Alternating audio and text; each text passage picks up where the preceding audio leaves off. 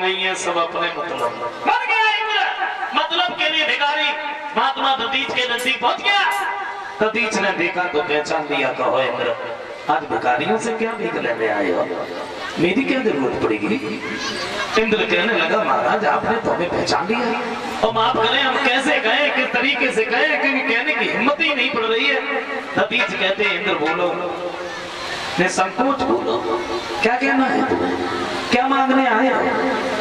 इंद्र कहते हैं, महाराज, और कुछ भी नहीं चाहिए। हमें आपकी हड्डियाँ चाहिए। ददीज कहते हैं, इंद्र, जरा सोचो, संसार की हर एक वक्त मांगने से मिल जाती है, लेकिन प्राण कभी किसी के मांगने से नहीं मिलते। और हमारी हड्डियाँ तुम्हें तो मिलेंगी। जब हमारी प्राणी नहीं मिलेगी कोई बात नहीं, अगर तुम आस लेके आए हो तो हम तुम्हें निराश नहीं देंगे महात्मा दधी समाधि को खींच करके बैठ गए, अपने प्राणों को छोड़ दिया देवता दौड़े, इन्होंने हड्डियाँ निकाली अस्त्र शस्त्र बनाए गए, तब वृतासुर का वध बताया जाता है, इन्हीं की हड्डी का बना हुआ ये भी धनुष था, इसमें इतनी शक्तियाँ भरी हुई थी ये धनुष किसी के हिलाए से हिलता नहीं था। लेकिन एक दिन एक दिन सीता